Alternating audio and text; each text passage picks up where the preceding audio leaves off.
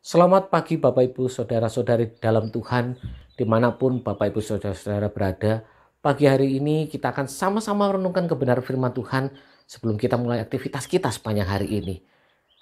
Firman Tuhan hari ini kita akan merenungkan dari Mazmur 98 ayat keempat sampai dengan ayat yang keenam. Demikian bunyi firman Tuhan. Bersorak, soraklah bagi Tuhan, hai seluruh bumi. Bergembiralah, bersorak-sorelah dan bermasmurlah Bermasmurlah bagi Tuhan dengan kecapi, dengan kecapi dan lagu yang nyaring, dengan nafiri dan sangkakala yang nyaring. Bersorak-soraklah di hadapan Raja, yakni Tuhan. Bapak Ibu Saudara, kalau saudara perhatikan ayat 4 dan ayat yang ke-6, di situ ada kata-kata bersorak-soraklah. Kata-kata bersorak ini berasal dari kata dasar ru'ah yang punya arti berteriak, mengangkat suara untuk meneriakkan di dalam peperangan, maju, serpu, untuk meneriakkan kemenangan atas musuh yang sudah dikalahkan, untuk meneriakkan keagungan Tuhan yang besar yang luar biasa, untuk meneriakkan kegembiraan yang sudah kita rasakan. Kalau boleh saya kasih contoh Bapak Ibu Saudara, mungkin dalam satu ibadah ketika kita beribadah, ketika WL mengajak kita, ayo bersorak, sorakan haleluya. Lantas respon kita hanya berkata, haleluya. WL ngomong lagi, ayo serukan haleluya. Kita cuman respon haleluya. Itu bukan ru'ah. Itu bukan ru'ah. Ru'ah ketika WL bicara, serukan haleluya. Kita merespon haleluya, haleluya. Itu yang dinamakan ru'ah. Artinya apa? Orang yang ruah harus melakukannya dengan kesungguhan hati, dengan kekuatan yang penuh, dengan extra power, bukan asal-asalan, bukan sembarangan.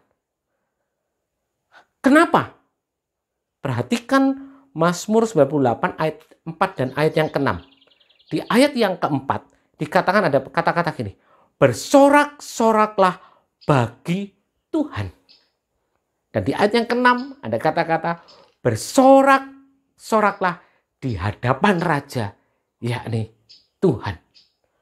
Bapak Ibu Saudara, kenapa kita harus ekstra dengan kekuatan penuh? Tidak asal-asalan, tidak sembarangan. Ini alasannya. Karena kita melakukannya untuk dan di hadapan Allah yang luar biasa, Allah yang dahsyat, Allah yang besar. Ketika kita melakukannya di hadapan Allah yang luar biasa, Allah yang dahsyat, Allah yang besar, maka kita tidak boleh lakukan itu dengan asal-asalan. Kita tidak boleh lakukan itu dengan sembarangan. Bukan saja dengan tenaga ekstra, dengan kekuatan penuh, tapi kita harus lakukan juga dengan sepenuh hati, sepenuh jiwa. Ulangan 6 ayat yang kelima. Kasihlah Tuhan Allahmu dengan segenap hatimu, dengan segenap jiwa, dengan segenap akal budimu. Bapak Ibu Saudara-saudara, pertanyaannya, lantas apa hubungannya dengan kondisi kita saat ini? Saudara-saudara yang dikasih oleh Tuhan, mungkin hari-hari ini kita mengalami kondisi-kondisi yang membuat semangat kita mulai kendor. Kita kondisi yang saat ini kita alami membuat kita uh, menjadi melakukan segala sesuatu, melakukan pekerjaan kita, itu kayaknya nggak ada semangat. Dan Mazmur 98 ayat 4 sampai dengan ayat yang ke-6 ini bukan hanya bicara bagaimana kita memuji Tuhan, bagaimana kita menyembah Tuhan, tapi juga bicara bagaimana kita melakukan tugas-tugas dan pekerjaan kita sehari-hari. Dalam Kolose 2 eh, maaf Kolose 3 ayat 23 berkata demikian, apa pun juga yang kamu perbuat, perbuatlah dengan segenap hatimu, seperti untuk Tuhan dan bukan untuk manusia. Ini bicara tentang melakukan sesuatu bukan saja dalam keadaan baik, namun juga dalam kondisi tidak baik. Kita tetap harus melakukannya seperti kepada Tuhan. Nah, Mungkin kondisi kita saat ini juga mengalami kondisi-kondisi yang kurang baik, kondisi-kondisi yang tidak menguntungkan. Tapi firman Tuhan pagi hari ini Bapak Ibu Saudara mengingatkan kepada kita untuk kita tetap bersemangat di dalam Tuhan. Apa pun posisi kita. Para bapak, para suami, ingatlah ketika engkau bekerja, engkau bukan saja bekerja hanya sekedar untuk anak dan istri. Tidak. Tapi engkau bekerja di hadapan Allah yang luar biasa. Ibu-ibu rumah tangga, para istri, ketika harus menyiapkan segala sesuatu di rumah, ingat Engkau bukan saja sedang menyiapkan untuk suami atau anak-anakmu, tetapi engkau sedang melakukannya di hadapan Allah yang luar biasa. Anak-anak, ketika engkau saat ini mungkin sedang belajar daring, belajar online, engkau mengalami jenuh, engkau sedang ada di rumah.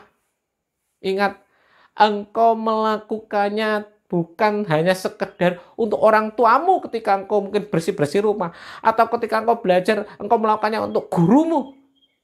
Tapi sebenarnya engkau sedang melakukannya untuk Allah yang luar biasa. Engkau yang karyawan.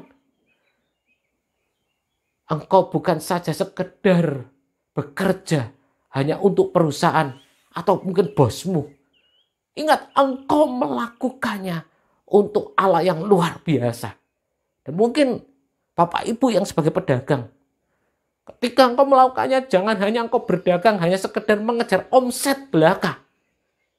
Atau engkau hanya sekedar untuk memuaskan pelanggan, tidak.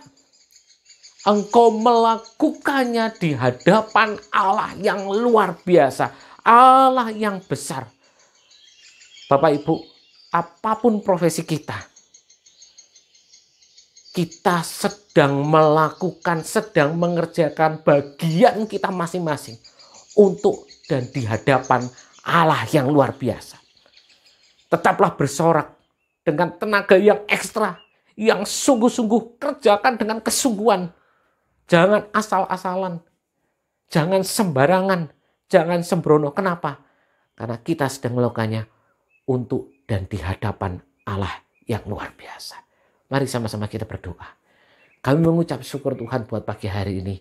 Kami mengucap syukur buat firman Tuhan yang mengingatkan kepada kami. Apa pun keadaan kami yang saat ini kami alami. Kami percaya Tuhan, Engkau ada di hadapan kami. Engkau bersama dengan kami. Ketika kami sadar bahwa Engkau ada di hadapan kami, maka kami mau melakukannya semua dengan luar biasa, dengan kesukaan hati kami. Karena kami sedang melakukannya untuk di hadapan Allah yang luar biasa. Terima kasih Tuhan, terima kasih. Memberkati negara kami, memberkati bangsa kami Tuhan. Di tengah saat ini Tuhan ada pandemik Tuhan yang sedang terjadi. Kami percaya Engkau memberikan hikmat kepada pemerintah kami Tuhan untuk mengatasinya Tuhan. Kau juga memberkati jemaatmu Tuhan yang saat ini juga ada mungkin dalam permasalahan kehidupan. Kami percaya tangan Tuhan bersama dengan mereka. Menaungi mereka Tuhan, menolong mereka Tuhan Terima kasih Tuhan, terima kasih. Kami mengucap syukur Tuhan. Kalau saat ini Tuhan, sebentar lagi kami akan melakukan aktivitas kami masing-masing. Kami akan lakukan bersama dengan Allah yang luar biasa yang berjalan dengan kami. Dan kami percaya Tuhan, pagi hari ini Tuhan, hari ini Tuhan, ketika kami berjalan bersama dengan Engkau, ada kekuatan yang luar biasa yang menyertai kehidupan kami. Terima kasih Yesus, terima kasih. Kami mengucap syukur di dalam nama Yesus, kami mengucap syukur dan berdoa. Haleluya. Amin.